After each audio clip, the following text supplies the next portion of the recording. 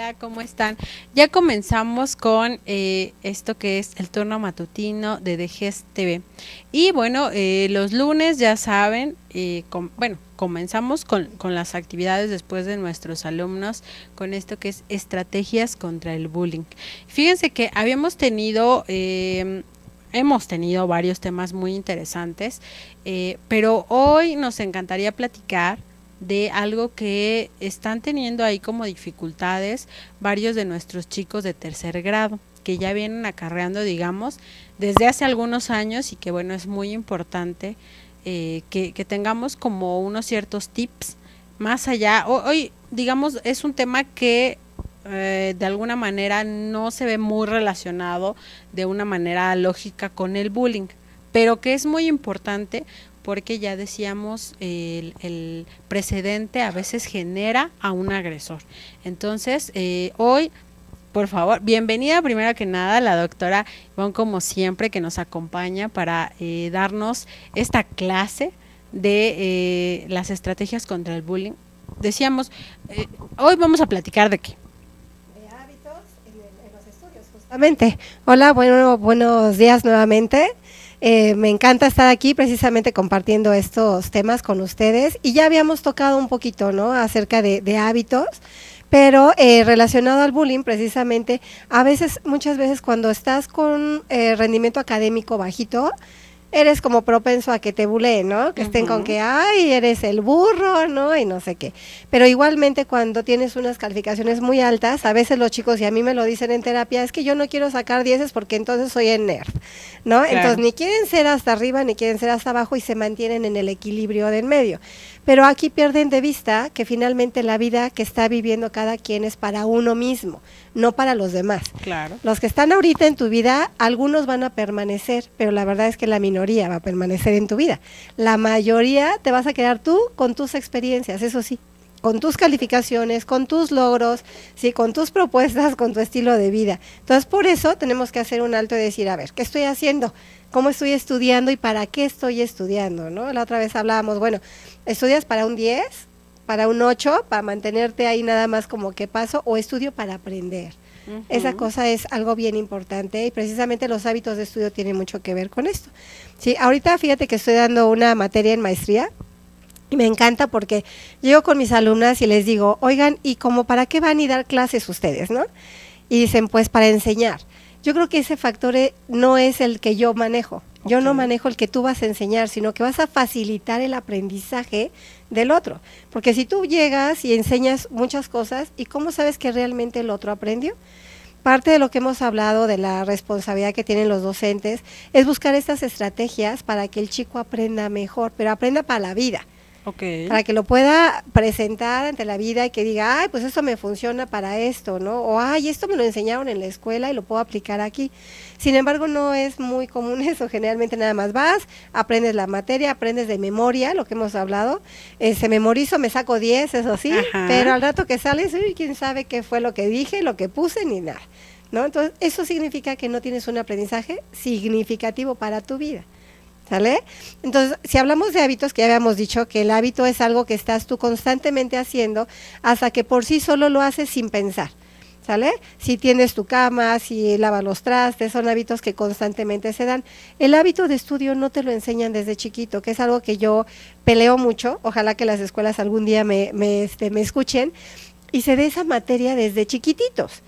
Los mismos maestros promocionan que los chicos no aprendan bien, ¿Por qué? Porque les dicen, van a estudiar para pasado mañana porque hay examen.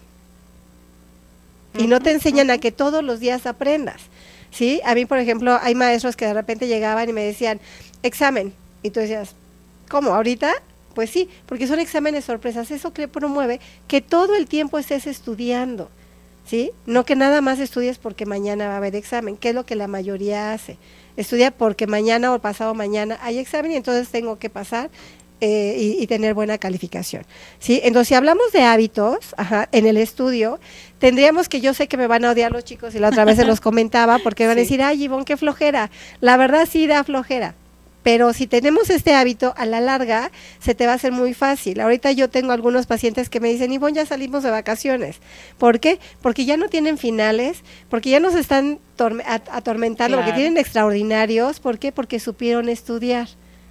¿Qué pasa? Durante todo el tiempo están estudiando y al final, mira, nada más van, firman y adiós, ¿no? De todos los demás.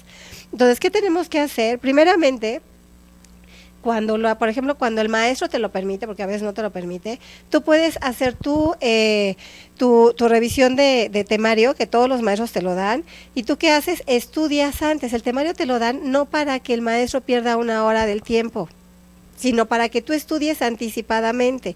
Cuando te dicen, vamos a ver el ciclo del agua Ok, tú vas, investigas en tu casa y qué va a pasar cuando llegas a la escuela, pues ya sabes de lo que el maestro va a hablar.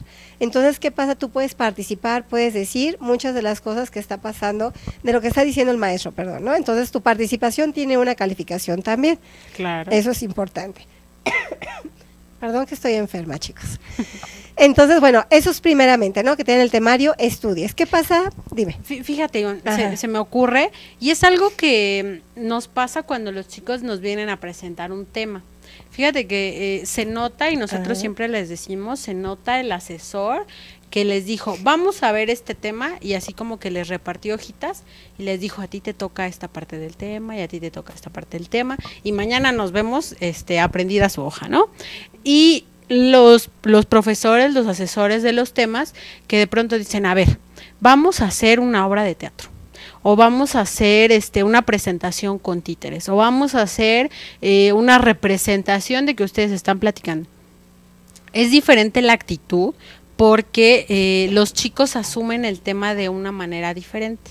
Entonces, lo que decías, cuando uno lo hace, digamos, eh, aunque no, no completamente, pero cuando uno lo hace por voluntad, es decir, voy a tomar el temario y voy a, investigar sobre este tema, a que cuando el maestro dice, hoy vamos a ver esto y listo y se acabó, ¿no?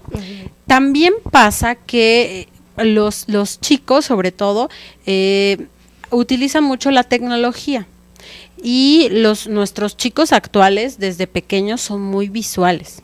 Entonces pueden utilizar las herramientas tecnológicas. Siempre nos, nos dice nuestra compañera yo, no todo lo que hay en internet es Facebook. Entonces pueden, eh, si les encanta Facebook, hay páginas. Decías tú, por ejemplo, el ciclo del agua. Hay páginas que de Facebook que se dedican al agua, ¿no? Ahí está la Comisión Nacional del Agua o, las eh, organizaciones que, que, están fomentando el cuidado del agua, pues pueden investigar ahí y ese tipo de páginas tiene videos, tiene carteles, tiene eh, muchas herramientas tecnológicas que ellos pueden utilizar. no estamos pensando en que para repasar, como en, en, la antigüedad, ¿no? Se iban a la biblioteca, encerrar, sacaban unos libros, investigaban, hacían sus fichas. Esa es una posibilidad, digamos. Claro, sí. Pero no es la única. Entonces, eh, nuestros muchachos tienen todas las herramientas, no pueden decir, ¿y dónde voy? No encontré un libro que hable sobre eso, ¿no? Ahora Internet tiene muchas posibilidades, nada más hay que tener cuidado de lo que uno lee. sí. pero, y que sea confiable, exacto. Sí, mientras sean de instituciones, de, de eh, cuestiones nacionales, de estudios comprobados, eh, pues ellos pueden, y ya decías tú, incluso pueden contribuir más allá de lo que el maestro les va a enseñar. Y también pienso, yo me acuerdo en mi, en mi época de estudiante, cuando por alguna razón no eres bueno en una materia y te tienes que ir al final y de pronto te dicen que en el final sí va a venir todo el temario. Aunque el día que iban a ver el ciclo del agua, el maestro no fue o el maestro se saldó el tema, pero en el final sí va a incluir ese tema. Entonces uno dice, bueno, pero ¿por qué? Si no lo vimos en clase. Bueno, si yo estudié anticipadamente, también vi ese tema, aunque no lo hayamos visto en clase. Entonces ahí salen como muchas cosas, ¿no? Claro, pero fíjate qué interesante lo que dices, porque en realidad sí, los chicos son muy visuales. Entonces, ¿qué pasa si el maestro ocupa estrategias precisamente del, del Facebook? Se pueden hacer cosas bien interesantes. Claro, también tiene sus, sus bemoles, ¿no? Porque bueno, hoy los chicos de repente también pueden subir muchas cosas en Facebook, pero la idea es también trabajar con los valores. Ver, vamos a trabajar una página de Facebook donde vamos a estar todos los integrantes y ahí se sube el temario, se suben muchos temas. Yo, por ejemplo, sí lo trabajo con mis alumnos, entonces te subo ahí, por ejemplo, toda la información de un artículo. Y ahí mismo los mismos alumnos tienen que hacer una, ah, ¿cómo se llama? Eh, se me fue el nombre, pero todos tienen que participar acerca del tema.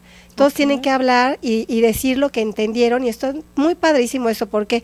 Porque los mismos compañeros te van reestructurando. De repente, oye, no, yo creo que leíste mal porque lo que decía el tema decía esto, ¿no? Ah, sí es cierto. Entonces, eso es un trabajo también colaborativo, que a los chicos les encanta. Y nada de que, ay, maestro, no vi la tarea. Ah, en Facebook siempre estás, ¿no? Entonces, claro que lo viste. Pero esas son, son estrategias que debemos ocupar como docentes ahorita. Los alumnos ya son tecnológicos y los alumnos de verdad te hacen como el iPad, ya te quieren pasar, ya no quieren que ah, estés allí, quieren que seas muy proactivo, que, que, seas muy dinámico. Yo, por ejemplo, con mis alumnos, ahora estoy, eh, estaba yo platicando con mis alumnas ahora de la maestría, les decía, yo a mis alumnos de, de licenciatura no les hacía exámenes como tal les ponía a jugar, por ejemplo, si hablábamos de liderazgo, les decían, me van a traer un memorama, pregunta y respuesta, obviamente. Si no sabían los términos, claro que no ganaban. Y esa era su calificación. ¿Y qué crees? Los chavos felices. Pero son estrategias diferentes para un mismo fin, pero sobre todo con un fin de que realmente ellos aprendan, no que saquen una calificación. Muchas veces los maestros están muy eh, preocupados porque a los maestros los miden por cómo sale su grupo. Y eso obviamente pues a ellos les preocupa, ¿no? Porque ay, van a decir que no soy buen maestro, porque mis alumnos eh, en promedio sacan siete, por ejemplo pero tú qué estás haciendo como estrategias para que lo suban. Claro. No se trata de regalarles la calificación o voy a bajar la campana, ¿no? Para que ya salga mejor su calificación. No, se trata de buscar qué estoy haciendo yo como docente para que a ellos no les que, esté quedando más ese aprendizaje. ¿Ok? Entonces, hablando de los hábitos de estudio, uno de ellos, lo que hablábamos del temario, pero la otra también es de, em, si los maestros lo permiten, tú puedes hacer tus apuntes en sucio. ¿Para qué? Para que cuando llegues los vuelvas a, pasar en limpio. ¿Qué significa? Que estás, primero tú estudiaste, después pusiste toda tu atención al maestro y toda tu atención se refiere auditivo y visualmente. Algunos chicos son visuales y algunos son auditivos. ¿Qué pasa si juntas los dos? Tienes mayor reforzamiento. ¿Qué pasa si el maestro es kinestésico que les da cosas? Pues más aprenden, ¿no? Entonces, si juntamos todos y luego tú al pasar tu cuaderno es kinestésico, lo estás viendo, perdón, y aparte lo estás hablando, porque lo puedes estar hablando, ya estás teniendo mayor la información y se va integrando, ¿ok? Si tú estudiaras un día, eh, haz de cuenta, hoy viste la clase que dijimos del de, agua, ¿no? Pasó todo lo que te estoy diciendo más, aparte la estudias como si mañana el maestro fuera a hacerte tu examen, pues resulta que cuántas veces ya viste el tema, ya muchos vuelves a hacer lo mismo para el día siguiente y entonces repasas lo anterior y estudias lo de hoy. Resulta que cuando llega el examen ya no tienes que estudiar, porque ya lo aprendiste, pero lo aprendiste bien, con un aprendizaje significativo. Ahora, algo bien importante es en los eh, cuadernos ponerles imágenes. Este Albert Einstein, por ejemplo, decía, si tú lo puedes escribir, significa que lo aprendiste. Es lo mismo, si tú lo puedes dibujar, significa que lo aprendiste. ¿Por qué? Porque lo estás representando. Entonces, si tú viste lo del agua y tú haces lo que tú creíste, lo plasmas ahí, y entonces cuando lo tienes que eh, recobrar, pues ya te acuerdas muy bien del dibujo o del cuadro sinóptico o de las otras estrategias que tenemos como este cuadro sinóptico, el mapa mental, el este el otro cómo se llama, el otro el mapa cognitivo, ¿no? Entonces, todos esos son estrategias para fortalecer ese aprendizaje. Pero ahí también, y decías muy bien, se necesita la asesoría de los profesores. Claro. Porque fíjate que a lo mejor nosotros pensamos, nuestros chicos de secundaria ya como adolescentes, tienen como esta idea de que es un cuadro sinóptico, ¿no? Pero la verdad es que luego hay como que les falla, ¿no? De pronto dicen, bueno, es que a lo mejor yo no soy tan bueno para reducir en un solo concepto algo, ¿no? no eso no no se me queda en la mente pero igual podríamos trabajar un cuadro de ideas, ¿no? Y que sea eh, otra la herramienta. Claro. Y fíjate que ahora, este, dicen a veces los maestros, bueno, es que quizá los niños no son eh, buenos para dibujar. ¿no? Pero podrían ser recortes, por ejemplo. Si él puede visualizar la idea ya en, en una imagen, aunque ya esté dibujada, aunque la saque de internet y la imprima, pero ya tiene la idea de cómo lo represento en una figura. Claro. Y bien decías tú, fíjate que a mí sí me, me ha pasado que de pronto hacíamos un examen y me acordaba la respuesta por el lugar en que lo había escrito en el cuaderno, ¿no? O por el dibujito que había puesto junto a él. Eh, a veces eh, no implica tanto la, la, repetición, porque muchas personas dicen, no, es que con la repetición no es eh, pedagógica, ¿no? pero no se trata de que lo repitan y lo repitan hasta el cansancio, sino que lo repitan con diferentes estrategias para que alguna de esas les va a quedar. Y yo les decía que es muy importante esto de las estrategias porque, y sobre todo a largo plazo, porque los chicos que ahorita están en tercer grado, ya dos semanas les faltan para el examen. Y quiere decir que no estas últimas dos semanas se van a matar estudiando porque ya nos decías tú, no funciona. Entonces, por favor, danos eh, algunos tips para antes del examen, porque fíjate, yo me acuerdo que en un programa anterior nos decías, mm. no se vale comer inmediatamente antes de ir al examen, porque la digestión produce sueño y no nos permite concentrarnos. Entonces, eh, no sería buena idea, este, pásate a comer eh, todo lo que encontremos para que no te dé hambre en el examen, ¿no?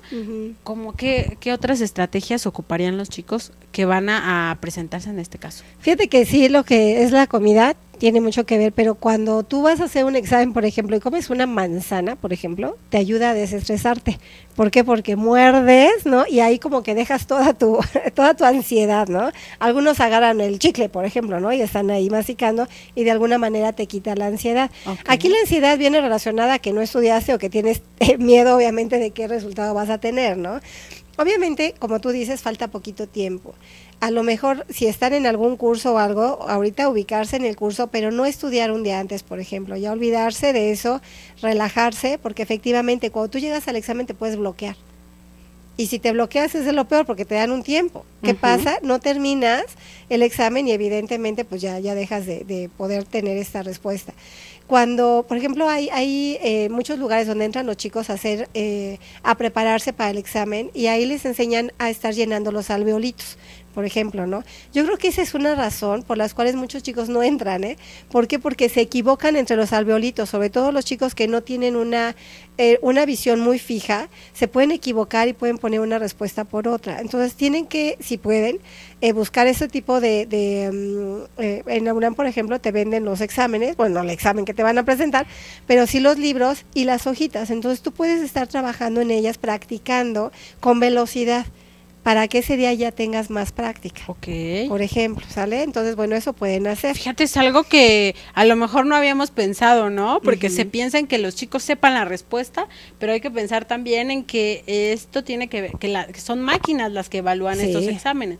Entonces, que se llene bien el, el circulito y que ellos tengan la capacidad de ver en qué circulito van, porque además si se saltan una pregunta y este, llenan ese, ese círculo en lugar del siguiente, pues ya todo el examen está mal. Ya de ahí se desfasaron todos.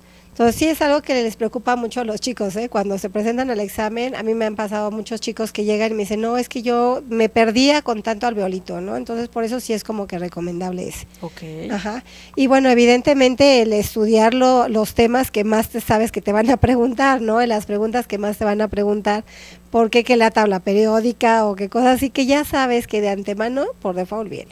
Ok. ¿no? Pues es importante que entren a, o a cursos o que compren esos libritos de la UNAM, porque ahí te vienen las preguntas, no te van a venir exactamente las preguntas, pero tienes una idea por lo menos de los temas que te van a preguntar. Y de las, eh, bueno, no trampas, de, de las, eh, del condicionamiento de las preguntas, ¿no? Porque hay preguntas, fíjate que luego nos dicen los chicos, parecen como demasiado fáciles, ¿no? Así como que dudan porque dicen, ay, no puede ser esta la respuesta porque es como muy sencillo o al contrario, ¿no? Que es una respuesta que parece muy sencilla, pero en realidad eh, es la otra respuesta. Entonces también como que eso les ayuda a que su cerebro no se condicione a una cierta cosa, ¿no? Y es que ahí viene la confusión este, que, que, vienen en esas múltiples, ¿no? Confusión múltiple le dicen, ¿por qué? Porque muchas veces las respuestas se parecen demasiado y dices, híjole, si no lo sabes, pues te vas a confundir. Es bien importante que lean detenidamente, que lean las instrucciones, porque muchas veces se pasan de alto las instrucciones y bueno, puede ser muy importante que se detengan, ¿no? O que lean bien la pregunta, porque muchas veces por el mismo eh, nervio no lo leo bien y obviamente mi contestación no va a ser la adecuada. ¿sí? Y por los nervios, pues obviamente van así. Entonces ya sabemos, chicos, por favor, hay que ocupar estas estrategias. Y bueno, ahora sí nos contando en cuanto a las estrategias de estudio actuales habituales, lo que normalmente viene eso que te he estado platicando. Otra estrategia, por ejemplo, es el subrayado. Muchas gentes no subrayan, ¿no? Entonces, cuando nosotros subrayamos de rojo o de otro color, sabemos que eso resalta por la importancia. Hay subrayado doble, por ejemplo, lo que tiene más importancia, ¿no? Entonces, subrayo una y subrayo otra, nada más a lo mejor el tema. ¿Sí? O le pongo a lo mejor un circulito, eso hace que sobresalga y como tú dices, cuando se hacen un examen de repente te acuerdas y dices, ay, esa, esa es lo que yo subrayé, ¿no? Entonces eso te resalta. La otra, por ejemplo, es algo muy simple que es el color de tu pluma. Por ejemplo, el color moradito te ayuda a rescatar, por ejemplo, la información. Si tú tienes una habitación como lila, te ayuda a aprender más, por ejemplo. Si tienes de otros colores, pues a lo mejor no te facilita tanto o te interrumpe precisamente esta información, ¿no? Entonces hay que buscar lugares propios para aprender. Obviamente tienes que buscar el estudiar no en tu cama, que es la parte que muchos hacen, estar en la cama ya cuando te dice cuenta, ya se durmieron, ¿no? Entonces no, porque te vas ahí agachando, agachando y te duermes. Entonces no es estudiar en la cama, es estudiar en un lugar propio, que a lo mejor es la, la mesa de la, de la sala, si es que no tienen alguna cámara, como tengan un, exactamente un escritorio, eh, cercano a donde haya aire, porque muchas veces te vas quedando dormido, porque también hace mucho calor y te vas quedando dormido. Y sabes que es bien importante tener un vasito con agua, por ejemplo. El vaso con agua te va hidratando precisamente y te va acelerando tu, eh, perdón, va, va haciendo que aprendas mucho más, porque te va oxigenando el cerebro. Entonces tomas tu agüita, estás estudiando y el agüita, ¿no? Claro, te dan cuidado porque luego tienen el agua y están haciendo un trabajo y lo tiran, ¿no? Entonces hay que tener como que cuidadito. Pero bueno, pero ahora ya hay este sus termos, ah, sus cilindros, entonces ya no tienen excusa, pueden tener ahí el agua para estar este. Y decías tú, por ejemplo, también eh, tiene que ver con la situación de, nunca lo había pensado, fíjate, del color, eso es como un dato para para los papás, ¿no? Claro. Porque a veces dicen, déjalo que pintes cuarto de negro porque le gusta este, es muy rudo, pero, o, de rojo, pero eh, más allá de la personalidad, si estudian dentro de su cuarto, pues no es una buena idea ese tipo de colores. No. Entonces, aunque al chico le encante este verse un poco más eh, rudo, pues por favor tengan cuidado, porque esto nos puede resultar en, en un problema en el estudio. Claro, los colores mueven emociones siempre. Entonces, evidentemente hay que cuidar mucho eso, ¿no? Y entonces, si ponemos la habitación lila, la moco morada, ¿no? Lilita, eso te va a ayudar sin que te des cuenta para que tengas mejor aprendizaje. También si ocupas, por ejemplo, cuando estás escribiendo, pluma verde, pluma de colores, te ayuda porque resalta.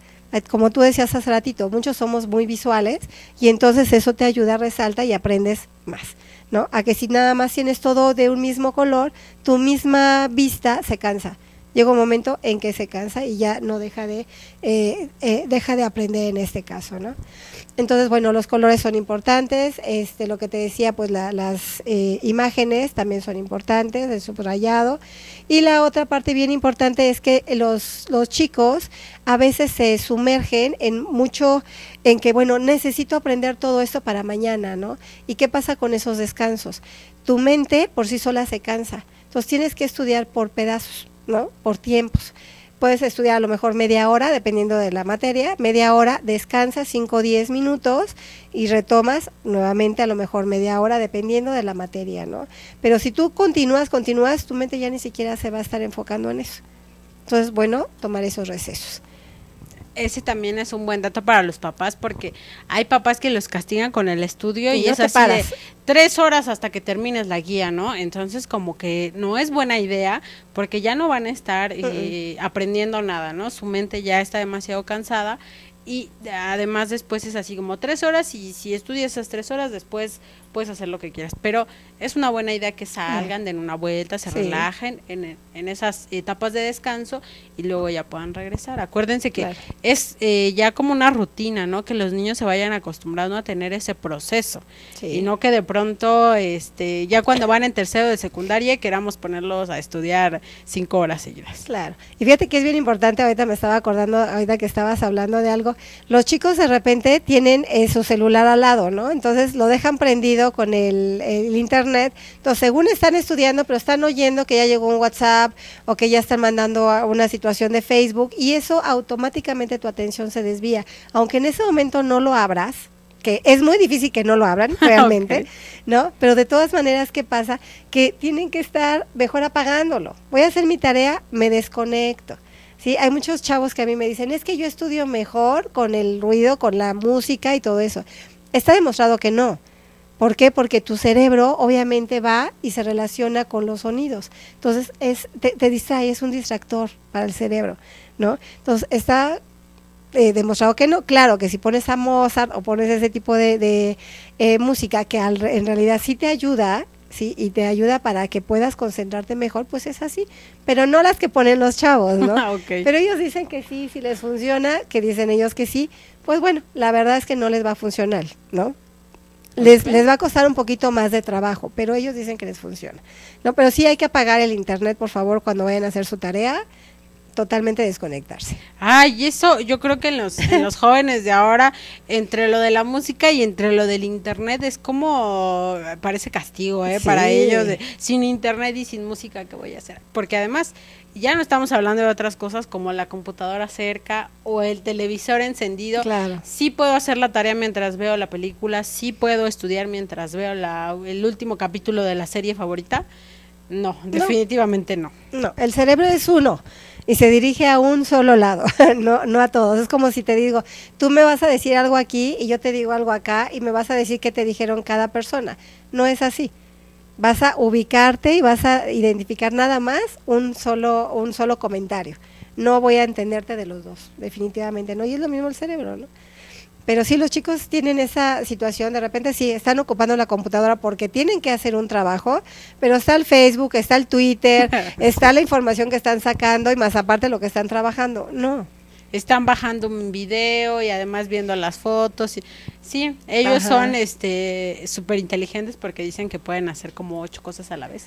Ya no dos como antes, platicar y estudiar o escuchar música y estudiar. No, ahora ya hacen como 60 cosas al mismo tiempo y claro, la tarea es la más afectada. Sobre todo el aprendizaje, que volvemos a eso, ¿no? Realmente no estás aprendiendo. A lo mejor si cubres el este el trabajo y lo, a lo mejor te sacas 10 pero ¿qué aprendiste del trabajo? No lo vas a aprender, ¿no? Entonces ahí es importante que se ubiquen y que quiten todos esos medios que tienen, ¿no? Directamente. Piénsele, por favor, porque después van a sufrir para los exámenes y esa no es la idea. La idea es que disfruten del aprendizaje. Exactamente. Bueno, pues maravilloso. Ya, ya casi nos vamos, por favor, Ivonne, eh, compártenos tus, tus medios de contacto. Estamos viendo aquí atrás eh, también un, un, cartel con, con algo de información de, de, estas asesorías que tú das, pero por favor compártenos también eh, los contactos para que puedan comunicarse contigo. Claro, pues bueno, mi teléfono es el 5338 3283. Como ustedes saben, damos terapia a niños, adolescentes y adultos y ahorita lo más importante que estoy manejando eh, es el taller para, eh, bueno, todo lo relacionado al bullying, que así se llama nuestro, nuestro programa.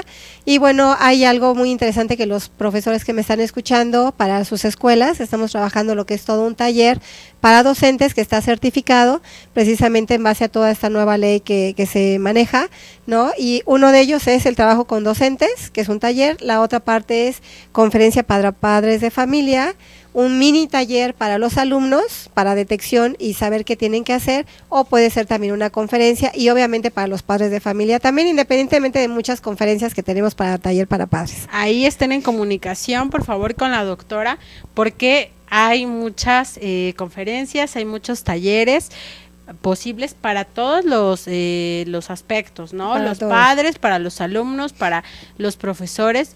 Y también nos estaba comentando Iván que estén al pendiente también porque va a haber ahí una sorpresa para los directivos. Así es. Que a veces, nosotros sí los tomamos en cuenta Ajá. siempre en los programas, pero a veces en, en la comunidad escolar como que dicen, bueno, pues los directores este eh, no son como parte del... No, también hay que incluirlos Claro. dentro de la comunidad escolar. Ajá. Y bueno, también hay ahí eh, un, un- un trabajo con los directivos, así, Así que es. no no dejen de llamarte para que puedan Claro que eh, sí. tener toda la información y eh, pues ya, ya dijimos, no, estamos diciendo que en su escuela haya bullying, pero la prevención La prevención es muy importante. es el mejor camino. Entonces, pues te agradecemos mucho Al y ya saben, no se muevan porque vamos a continuar este programa en radio. En radio nos vamos para allá. Bye. Adiós. Entregar todo, entregar todo en el te da un cuerpo, te da un cuerpo de hacer. Leer, leer, te permite tener una gran, una gran para dirigir al equipo, hacia la victoria, hacia la victoria. What matters, What is, matters in is in your mind. Le- man. le- Dente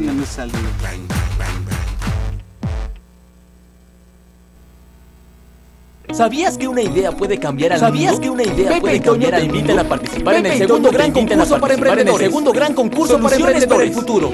Soluciones Utiliza para el tecnología futuro. y las ciencias para Utiliza mejorar tu comunidad y las ciencias para mejorar tu comunidad y gana Infórmate increíbles en premios. Soluciones para el Infórmate en futuro.com.mx. Soluciones para el futuro.com.mx. Consejo de la Comunicación, voz de las empresas.